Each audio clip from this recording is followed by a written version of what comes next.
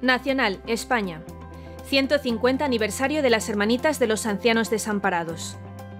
Las Hermanitas de los Ancianos Desamparados celebraron en Valencia la misa en acción de gracias presidida por el arzobispo Monseñor Enrique Benavent con motivo del 150 aniversario de su fundación, un tiempo en el que la congregación ha acogido a más de medio millón de personas mayores en todas sus casas hogares del mundo. La misa fue oficiada por el arzobispo en la iglesia de la Casa General de la Congregación en Valencia y fue concelebrada por los capellanes y sacerdotes vinculados a la comunidad religiosa.